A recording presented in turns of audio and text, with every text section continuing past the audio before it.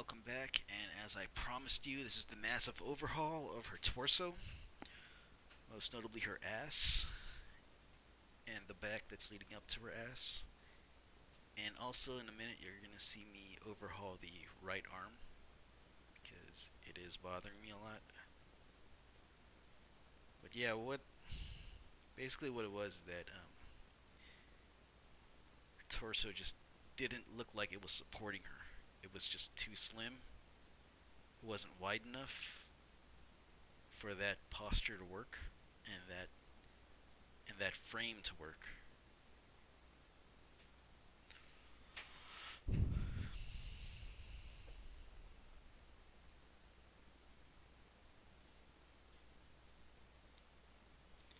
See, I just gave up on that arm. Now I'm just gonna do something that flows a little bit better not even gonna finish that that hand. I mean, I'm gonna kind of do it, but I'm not gonna do it. Do it. I'm adding a lot of brush strokes to the places that I don't really want the. I don't really want distracting from the main story of the illustration.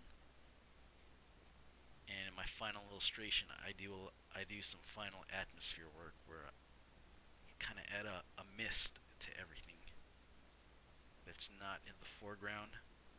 And yeah, you'll see that. I don't think I covered it in this video, but.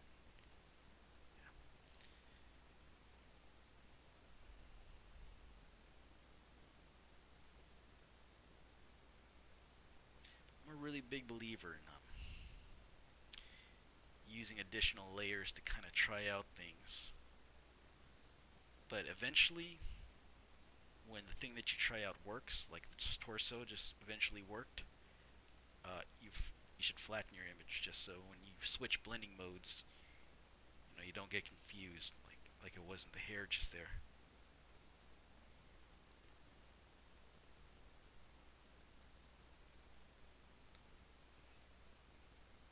I'm gonna add a little character to these top these top elements.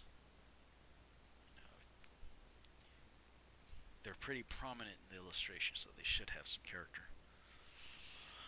And they're also around where I want the viewer to look. So it warrants detail.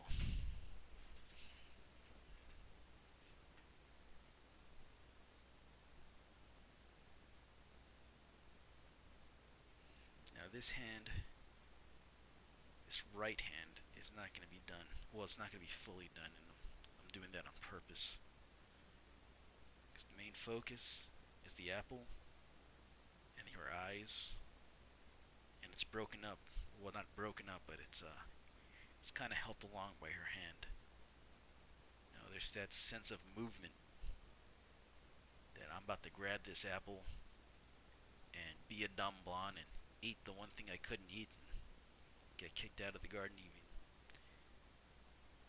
and I'm gonna take Adam with me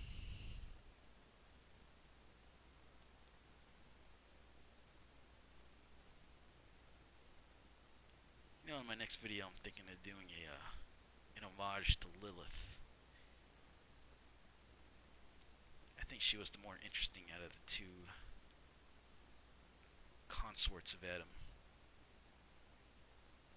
I mean, she got kicked out. I don't know. We'll get into that later. We'll get into why she got kicked out later. But for now, let's just focus on this illustration which is just about 85% complete. There's a little cleanup work that I did afterwards that I didn't cover. Just to spare you guys. Rest assured, what I'm doing now is pretty much what I what I did to finish this illustration.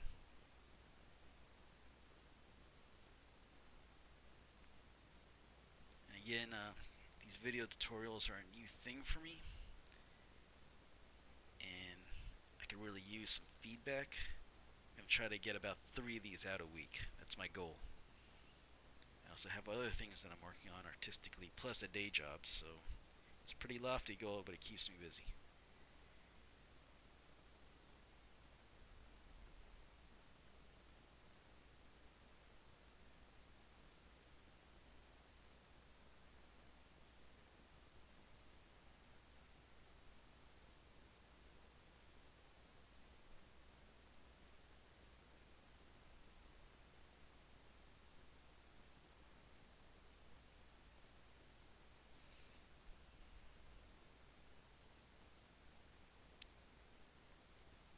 What you see here is something um, it's fairly used a lot.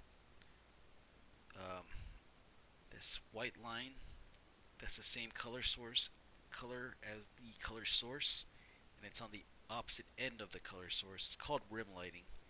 It's a great way to kind of accent accent a foreground object without accenting it. You know, it's um, it's a good way to give the illusion that the object is part of the scene, but it's still in the foreground. So there's kind of an otherworldly aspect to it.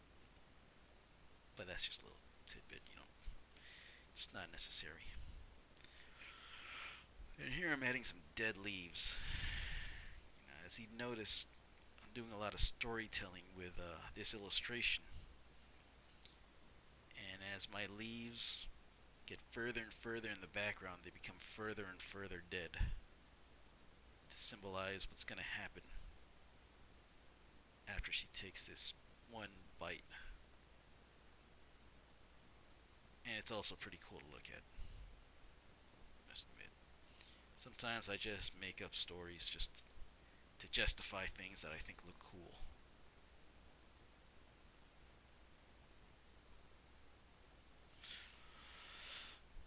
But here we are in our final cleanup of the illustration. I did this in four 45 minute uh, sessions today.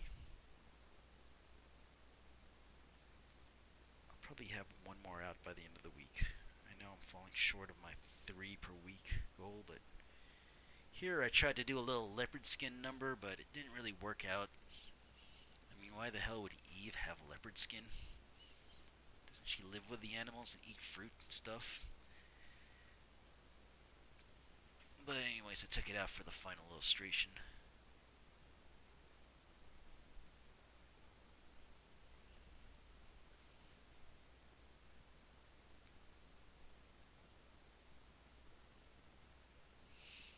But here I'm just working on back anatomy, and I'm kind of trying to. I'm just trying to tie up loose ends right now. This is the last. This is the home stretch of this illustration, and I'm running out of breath talking about it. So I'm just trying to tie up all my loose ends so that people can't, you know, say look at it and say, "Oh, where did this go?" or "Where does that go?"